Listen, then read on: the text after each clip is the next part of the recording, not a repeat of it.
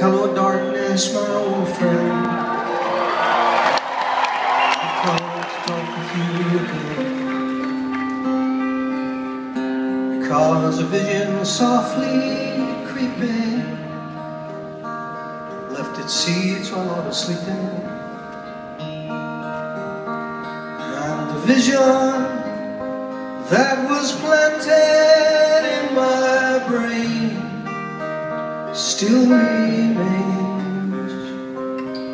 within the sound of sigh.